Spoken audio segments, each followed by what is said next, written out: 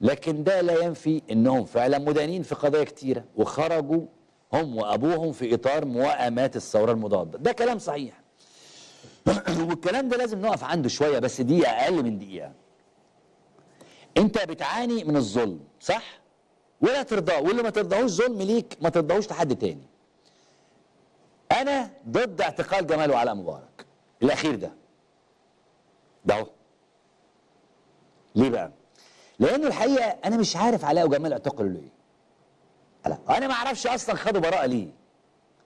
آه جمال وعلاء ومبارك أفسدوا الحياة السياسية 30 سنة في مصر. تمام جدا.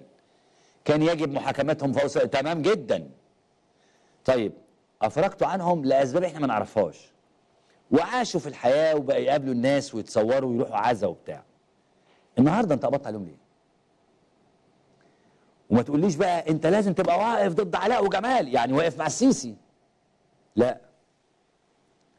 أنا بسأل علاء وجمال اتقبض عليهم ليه النهارده؟ أيوه بحجة إيه بقى؟ التلاعب في البورصة والحاجات دي. وقصور رئاسية والكلام ده؟ قضايا زي الاختفاء القسري كده أو زي ما بيعكوا في سينا كده. قضايا زي أي قضايا تلفيق وخلاص. أنت لو أنت ماسك على علاء وجمال خرجتهم ليه من الأول؟ طب ليه علاء وجمال ما تعرضوش لمحاكمة بجد؟ بوثائق بجد. والقضايا كانت كتيرة. ليه فجأة خرجوا ومبارك نفسه خرج؟ ليه فجأة النهارده بتقبض على علاء وجمال؟ اللي يرضى عن القبض واعتقال علاء وجمال النهارده هو إما إنه شخص مزور أو ما عندوش ضمير. أنا مش راضي تماما. والسؤال اللي أنا بقول لك مش راضي عليه ليه اتقبض عليه؟ قول لي ليه اتقبض عليه. إيه بقى؟ إيه بقى؟ يعني الراجل ما كانوا قاعدين هما الاثنين آه التلاعب في والتلاعب في البورصة دي ظهرت النهارده؟ امبارح بكرة ولا هي بقى في الدرج كل شوية تطلع لي قضية؟ وده لو حصل هيحصل عليا وهيحصل على ناس كتير. إحنا إحنا دلوقتي أنا وزمايلي اللي حصل إيه؟ فجأة يطلع لك قضية من الدرج.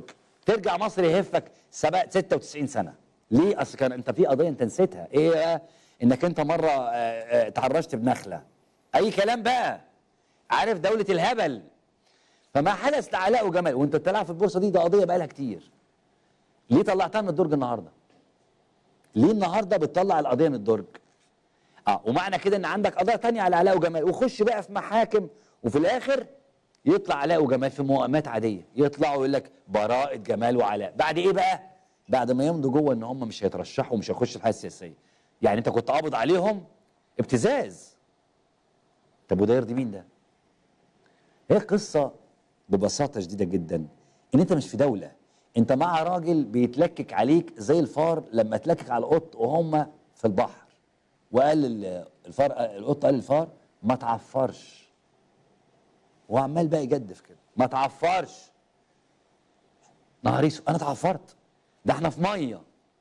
قال له هي لمطتك دي اللي هتخنق لك. هي نفس القصة. هتعفر يا علاء أنت وجمال أو غيرك.